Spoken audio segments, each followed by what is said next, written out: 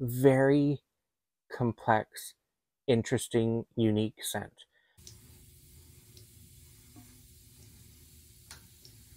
Hello, everybody.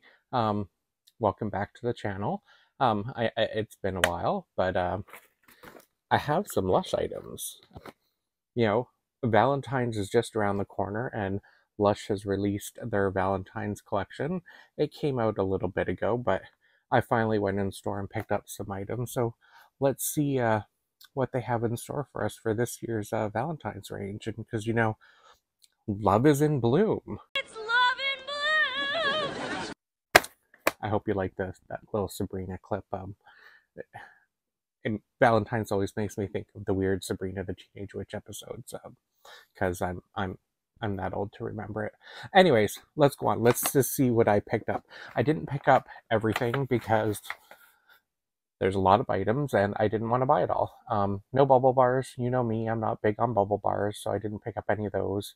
Um, there was a couple Lush melts. Um, I thought about getting them. Uh, which one was it? There was like a jasmine one. I wanted to get that one because I do love the scent of jasmine. Um, the Queen of Hearts one, I think it was too rose forward for my liking, so I didn't want to get that. Um, the Shower Jelly, the lips, um, I didn't pick that one up uh, because I already have too many shower jellies that I have to go through, and I didn't want to add another one. Um, I can't remember what the scent was, but I know it smelled nice. Oh, the Passion Fruit Delight, the the squidgy uh, body wash uh, that's like marshmallowy texture. I didn't pick one of those up only because last year when I got it, it went like super rock hard. So I was like, is it gonna be the same like experience this year? Didn't need to pick it up anyway because of another item that they released this year that is equally as good, if not better, and it's in the bag. What else? Oh, the uh, posh white chocolate and rose. Did not pick that up only because it has rose in it, and I am not big on rose scents. Even though when I did smell it, it did have a stronger scent of the white chocolate. I didn't want to risk it. Um, but I did get a sample of it because I wanted to try a sample of it. And I think I didn't get the lip scrub. Oh, the frog face mask. I want to get the frog face mask. Um, I don't think they had it when I went in um, or I just completely forgot that it existed. Um, but yeah, so let's just do dive in and see what I did get. Let's start with the bath bombs because you know I had to get the bath bombs. So here they are. So first one is the Love Letter Bath Bomb. So this is a cute envelope shaped like bath bomb. Just you know, it's to hide a little love note. And I think there might be something hidden inside of it when it unfizzes, but the scent on them, oh, it's a beautiful strawberry fruity kind of scent on this one. I'm trying to think if this is reminiscent of like um the Cinderella bath bomb from I think a couple Christmases ago. That's kind of, I you shall go to the ball. Maybe that's what it's like. Or the strawberry crumble um bath bomb, or not bath bomb, bubble bar. But either way, it was a fruity strawberry scent, and I deliciously loved it, so I had to get that one. It's just adorable. I like that it's like a little hidden envelope with a note inside. The next bath bomb that I grabbed, this is the a Whispering Heart Bath Bomb. So it's got a little hole inside um, that you could write like a little hidden message and you know, if you're giving it as a gift, you could write like a little "I love you" or "You're my Valentine," anything inside. In the past, Lush actually used to put like a little uh, slip of paper on them, like uh, when they did those uh, flower bath bombs for Mother's Day many years ago, or the Love Train bath bomb. Oh, why didn't they bring Love Train back? Hmm. They did bring back Love Bug. I don't have it only because I've used it too many times, and I wanted to try the new stuff. But yeah, so this is the Whispering Heart. So you can see there, there's a heart shape on the top of it and the scent on that one. Once again, um, I don't know what the fruits are, but it's a fruitier scent. So they are leaning more towards the sweet scents um, on this range versus florals. Not say that there isn't florals because there are plenty of florals on like the bath melts.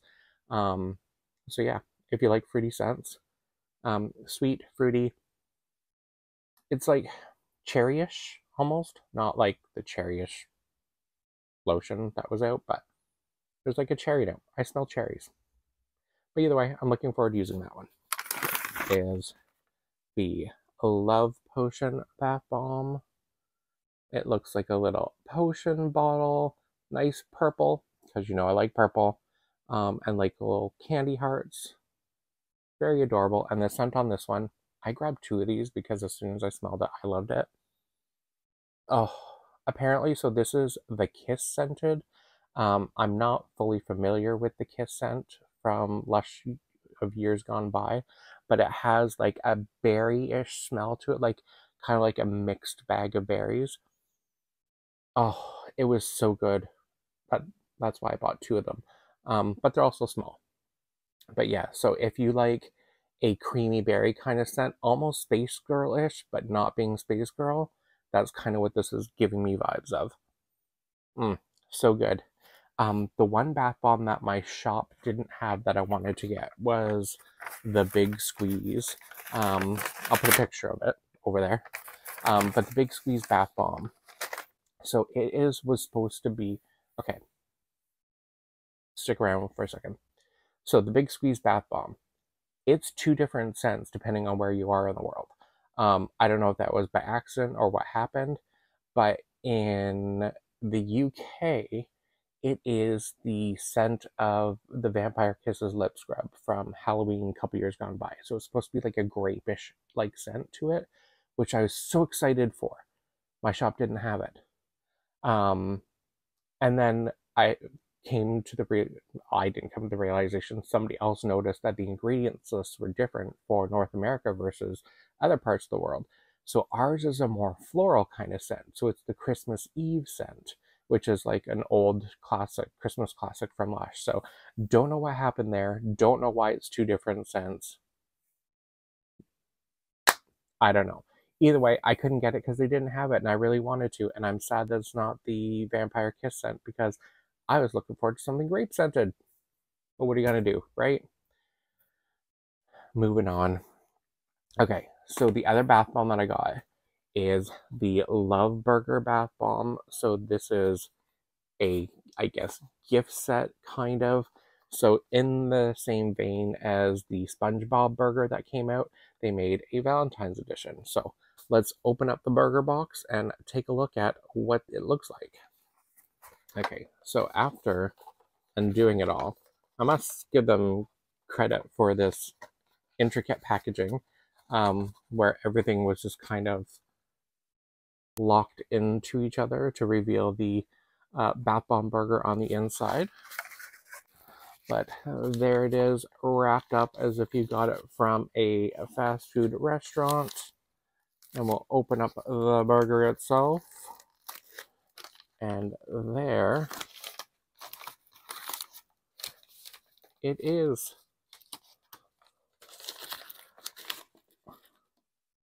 So adorable. So it's a multi-use bath bomb. And I don't know if the kit, there it is. It's gonna say Lush on the one side. That's probably the bottom. And then the top, it says Fancy a Bath. Kind of like Love Hearts. But how these work. Um, top and bottom are the buns, and they are bath bombs. So these are like a cherry-like scent. Oh, oh, that's so delicious. Oh, super sweet, super cherry-like. Mmm, yum. Um, but don't eat it. And then, oh, that was, this is cute. So there is two soaps, and they cut the tomato to look like a heart, and that's the lettuce. And this is the rhubarb and custard scent. Mmm. Once again, fruity and delicious, just like me. I'm funny. Um, and then the burger patty, that is a bubble bar. And this one is, oh, it's like a lemony scent. Mm. So you're gonna have like a complete like fruit salad like experience if you use the whole thing. So once again, bottom bun is a bath bomb, bubble bar burger. So you're gonna crumble that up in the water, let it foam up, make bubbles. You can use the lettuce and tomato soap to wash yourself. And then you have another bath bomb burger bun to go on top. And there you go. The bath bomb burger or the love burger gift set for the Valentine's collection. Adorable. Cute. Okay, so moving on from the uh, bath bombs. Um, oh, I got a soap. What's left without soap, right? So this is my little chia pig. My little chia piggy, I think it's what it's called. It's adorable. Look at that little cute piggy face. Now there are two versions of the soap depending on where you are in the world. Some people have, most people have the pig, but some markets have a little bear. Um, but yeah, so that's the cute little adorable pig, and his snout almost even has a little hardness to it, and so does his ears. So this one has chia seeds throughout, so that's going to give you a bit of a, a scrub exfoliation while you're using it. And the scent on this one is supposed to be super milk like. I don't fully smell super milk. Okay, I lied. I do smell super milk now. When I was in store smelling it, I didn't fully smell super milk, probably because you're inundated with like 8 million other scents. Um, there are a few other soaps that came out. I didn't get them because I don't think I was really too keen on the scent on them. There was a, I know there was a strawberry one and possibly another one. All I know is I like the look of the pig and I like the scent because that super milk, it's like creamy, sweet, a little zesty. I think there's like lemon in there. Hmm, it's gorgeous. I love it. And it's a little pig. So cute. Next up, and I alluded to this one before, it is the uh, Passion Shower Gel. So this one here is, there it is, uh, focus. So this is brand new this year. Um, oh, look, my nails kind of match it. Um, it is sparkly. They have a new formula that they're using for their shower gels to make the um, the glitter that they put inside there more suspended, so that way it's not all falling to the bottom, um, which we know happens all the time with Lush shower gels. But the Passion shower gel smells exactly like the Passion Fruit Delight, in my opinion. Some people have said it smells different, but to me, it smells exactly the same, and that's why I went and got the medium sized bottle versus the small one like I've been getting lately, just because I love the scent. Um, so I want it to last longer, and plus I have all my other ones to use. Um, will this come back? I don't know. I hope it does next year because fantastic scent. Passion fruity, sweet, delicious. Oh, you won't regret this one. Unless you hate passion fruit, then you won't like it, obviously. But yeah, so what does this actually say? So this says a lather in a fresh red rose infusion. I don't smell rose in it because I don't like the scent of roses. It's too strong for me. Mixed with a mesmerizing luster and sweet passion fruit juice. So there is actual passion fruit juice in this. So yeah, do yourself a favor. If you like passion fruit, get it. If you're unsure because of the rose scent, don't worry about it. You can't really smell the rose. So yeah, only a few more items, three more items. They made a new lip butter. So this is the a Crush lip butter. It's just a little crush on a tangent.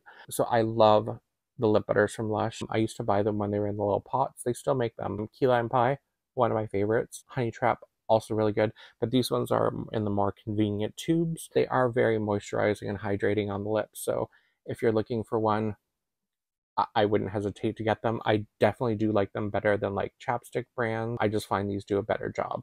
Um, they are obviously more pricey than chapsticks, but to me, it's worth it if it's something that works for you and you like it.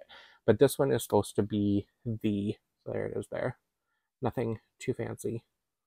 Just twists up. But this is supposed to be um, the Celebrate uh, scent. So it's going to be kind of champagne uh, grapefruity, citrusy. It's it's a classic scent from Lush, and the fact that they have it in a lip butter now, mm, so good. Mm, really good, really nice. Um, I'm not going to put it on because I don't want to look like a fool trying to put this on. So two more items, and I'm leaving the two most well, they are on the pricier side, but the two more fun items to the end. So they are scents. So like I said, Lush has the wax melts, which you could use as a uh, wax melter for a room fragrance, or you can use them in the bath if you want to have like a bath oil in there. But they released a pillow spray. So this one is here is called Goodnight Sweetheart. There it is. Um, it, it only comes in the 15 ml bottle. And so I don't know what would stop people from using this as a fragrance if they wanted to. I don't know what the full difference is. It could just be alcohol content. Um, but this one, okay, polarizing scent. You're going to love it or you're going to hate it. If you like jasmine, you're going to love it. If you hate jasmine, stay away from it. This is so jasmine forward, it's not even funny. Um, and like I said, I do love jasmine. And as soon as I smelled it, I knew I had to have it. It's a great calming scent to me which is perfect why they made it a pillow spray so you can spritz it like on your sheets on your pillow before you go to bed give yourself a little calming scent i know some people even spray things on their little squishmallows to give them a little extraness but my guys are just there to keep me company um, but yeah so what else is in here you think you th- you think my eyes are going to be able to to read that um, yeah so main scent note on that is jasmine that's all I'm going to say. If you hate jasmine, avoid it at all costs. Then the other one. So Lush has a new fragrance, a new perfume that came out for Valentine's Day, and it is the New Romantics, because they were the New Romantics. Swifties, this is not based off the Taylor Swift song. Um, I like to believe that it was named after a Taylor Swift song, but it's definitely not. Um, so when Lush created this scent, they wanted something that would, would evoke the new romantic era of music. So we're talking like almost like 80s synth pop kind of sound. Um, so it's it's a it's an era of music that was kind of originated out in the UK. Um, so yeah, it just so happens to be a Taylor Swift song that I love and a lot of people love from the 1989 album. New Romantics. It is an interesting scent. Um, reading online, I know a lot of people dislike the scent, but then a lot of people love the scent. So once again, it's one of those polarizing scents that either you like it or you hate it. I think I don't really think there's an in between on it. Um, now, scent wise, so there is orange, Davana oil, pimento berry oil. What is a pimento berry? I think of pimentos as that red thing in, in an olive, which is bleh. Um, and cinnamon. Um, very complex, interesting, unique scent. When you spray it, you are just like, I don't know what I'm smelling. And then you're like, oh, I kind of like what I'm smelling. I, now I'm not so sure. Oh, no, I do like it. Like there is layers, layers, layers, layers of scent on this one. The cinnamon and the orange, or and the Davana probably because the Davana is which is going to give it the more of the, the sweeter note to it. It's like a spicy sweet scent, which I just love. The fact that it's like spicy yet compellingly sweet. It's like contra it's contradicting each other, but in a way that is fantastic. Um, so to me, I love the new romantic scent, but I know a lot of people like, ugh, what was that? But that's the thing. Scent is particular to every person. Everybody smells things differently. What one person's to love, somebody else is to hate, vice versa. It's a very personal thing. And it all depends on how it works with your own skin chemistry, too. Because, like, you can smell it in the bottle one way, spray it on your skin. The way your body chemistry is, is going to react and make it smell differently. Um, I tend to spray a lot of it on my clothes instead, um, just because I find they have more staying power when they're sprayed on uh, fabric. But that's just me.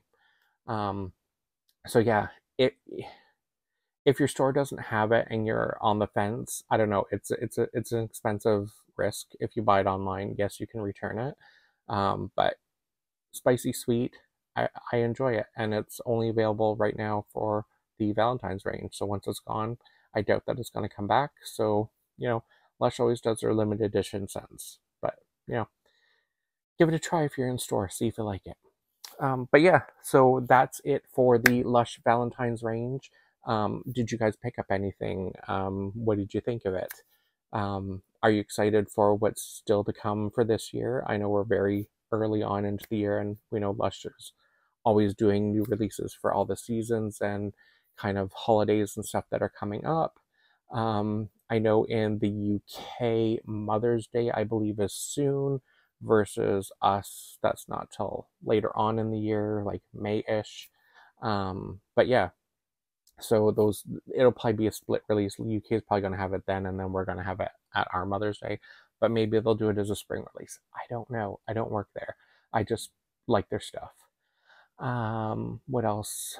Um, oh, spoiler alert for the Mother's Day range. There is a shower gel coming out called Snuggle. Um, and if you're a fan of Butterball, it's going to be for you because it's Butterball scented.